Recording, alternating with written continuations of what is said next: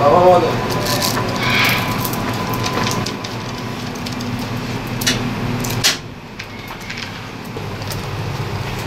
Hazır ol. He daha isanız yok.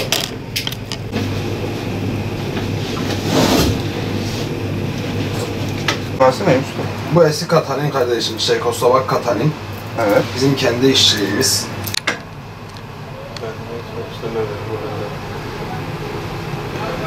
Bilezik objeden yaptık biz bu tespihi. Bile oltu taşı. Evet. Gümüş yarma ve çakımlı. Şu mavi yerleri firuzedir. Bu da damla kehri var. Ee, Şam ağacının fosilleşmiş hali. Taş orijinal taştır. Orijinal taşı Avusturya'da çıkıyor ama tesbihlik çıkmıyor. Doğal antibakteriyel bir kukadır. Koronada bu tesbih çok tutuldu kuka madeni. Kullanılmış kukayı. Kardeşim. Vallahi abi biz önce tesbih koleksiyoncusu olarak başladık. Sonra aldık sattık sonra da tesbih ustalığına başladık. Yo yo Mustafa ya. Telefondan aradın ya tamam. Geldi Sinan abi bugün sabahleyin. Evet.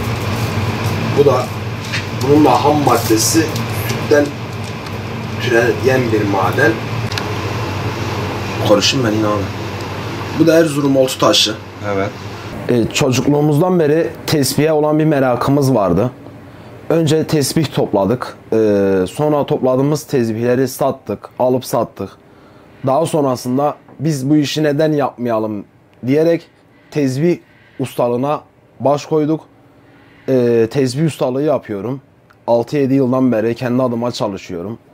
Dünyanın birçok ülkesine e, tesbih siparişi yaptım.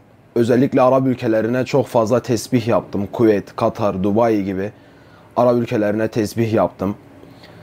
E, Birçok ma- materyaldan tesbih yapıyoruz. Oltu taşı, damla kehri var. Osmanlı sıkma kehri var. Eski katalin gibi. Dişlerden, ağaç gruplarından, sentetik malzemelerden birçok malzemeden tesbih yapıyorum. El işi tesbih yapıyoruz. Tesbihe karşı bir sevgimiz e, oluştu. Tesbih topladık. Sonra topladığımız tesbihlerden çevremizden arkadaşlarımız, dostlarımız bize satmalarına rica bulundular. E, alıp sattık. E, sonra da biz bu tesbih üretimi yapabilir miyiz diye düşünürken birdenbire tesbih ustası olduk. Abi tesbih yapmak aslında kolay ama sabır işi olduğu için insanlara zor geliyor.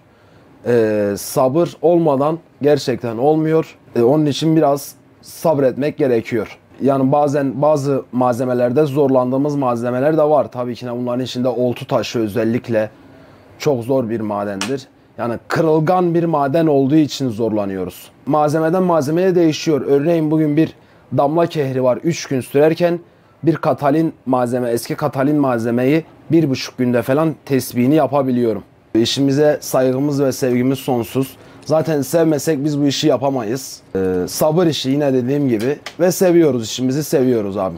Yıllardan beri tesbih alıyorum. Şu tesbihte gerçekten çok güzel işçilik var. Şunları işlemek gerçekten sabır işi. Çektikçe huzur bulursun bu tesbihi. Elindeki kayışı, dokusu, hissi. Gerçekten e, huzur dolu bir tesbih yapıyor. Emeği çok güzel. Gerçekten şunu işlemek çok sabır işi. Bazı insanlar dayanamaz bunu yapmaya. Ama Yunus Ustama sabrından dolayı çok teşekkür ederim. Şu işçiliğe çok önem verdiği için kendine çok teşekkür ederim.